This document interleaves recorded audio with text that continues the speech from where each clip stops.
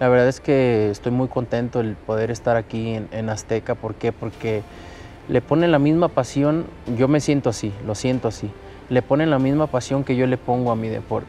De eso. Se entregan de la misma manera al boxeo, no escatiman el invertir, en poner y en apoyar al, al peleador, en, en- en hacer lo mejor que está en sus manos para, para transmitirle a la gente lo mejor, la pasión del boxeo, de este deporte tan bonito. Y por eso estoy muy contento aquí en, Azteca y aparte, pues eh, eh, me va muy bien también. Entonces, es- es- son consecuencias, ¿no? Cuando hacen las cosas bien, cuando haces las cosas bien, todo viene por consecuencia y creo que por eso estoy muy contento aquí. Martes 13 de febrero, el mundo del deporte apuntó la fecha y su atención a TV Azteca, porque el Canelo tiene un anuncio que hacer. 8.10 de la mañana, llegó a su casa. Primero lo primero, a la firma de guantes.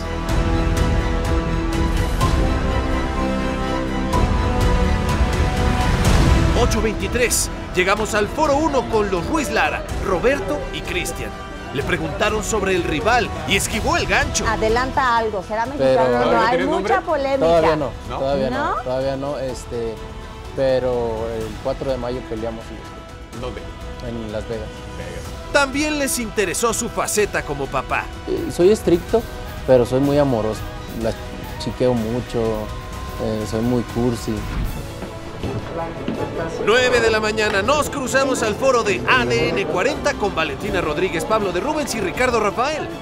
Para mí es prioridad poderles brindar a la gente de México que toda la gente me pueda ver pelear y disfrutar mis peleas, que al final de cuentas peleo para ellos y, y es primordial. Entonces contento de estar aquí con, con TV Azteca y poder seguir brindándoles mis peleas gratis. 9.25, hora de desayunar.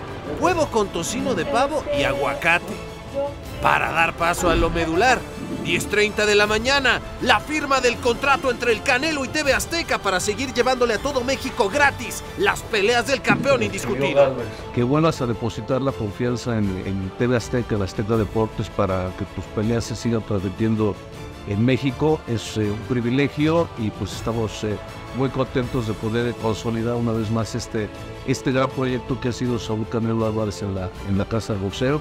México necesita ejemplos positivos y lo que Saúl ha hecho a través de la cultura del esfuerzo, del trabajo y lo que le ha enseñado a la juventud, eh, eso no tiene palabra, no tiene, no tiene nombre, es, es una maravilla lo que ha logrado. 11 de la mañana seguimos con la ruta del Canelo a visitar al patrón Benjamín Salinas. Nada de gol, ¿no? Órale. No, bueno, pues mi chavo se vuelve loco. Qué padre, hombre. Pues mucha suerte ahora en mayo. Señoras y señores, Saúl Canelo Álvarez está en su casa, en la casa del boxeo. 12-15, recorremos la alfombra roja porque el rey de las 168 libras tiene algo que anunciar. La verdad que el anuncio más importante ahora sí que vengo a hacer es que eh, otro año más con TV Azteca, que me enorgullece estar con ustedes. Este, me enorgullece estar con ustedes porque para mí, en lo personal y para muchos, eh, son los mejores, son los que entregan el corazón al boxeo, son los que hacen las cosas al 100% y el que entregan su alma a lo que es este bonito deporte. Estoy muy contento aquí con ustedes y no, no dudo que estemos todos, todos los años que me faltan en el boxeo. Muchas gracias. Siempre es un placer saludar a mi amigo el Canelo, el mejor boxeador. No, un placer, qué bueno que viniste, qué gusto verte. Gracias, muchas gracias ¿Verdad? por todo. Después del mensaje, continúan las entrevistas. Lama, su tarjeta. ¿Cuántos puntos para Saúl Canelo Álvarez? 10, 10, 10, 10 puntos para el Canelo, 9 puntos para todos los demás. 12.50, con la presidenta del Consejo de Fundación Azteca, Ninfa Salinas. Yo creo que hoy tengo el gusto de estar con uno de los mexicanos más reconocidos a nivel mundial. 1.20 de la tarde, la señora Pati Chapoy.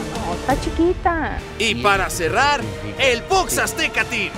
Visita cubierta, completísima.